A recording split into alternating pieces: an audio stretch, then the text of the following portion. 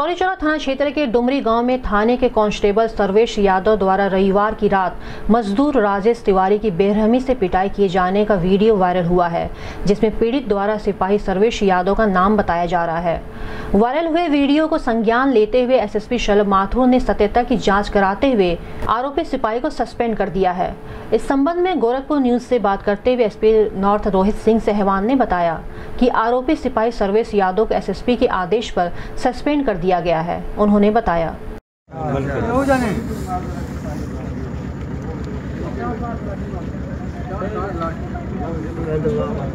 खड़े रहनी चाहिए उनके मार देना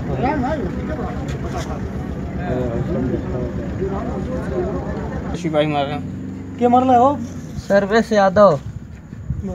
मुँह बाँध के चलत रहा है। वो शाम बली के मार दिया सोही जा। दो तीन थप्पड़। मुँह बाँध के चलते रहा सौ नंबर हो जो सौ नंबर के गाड़ी लेके चलता दुपहिया वा?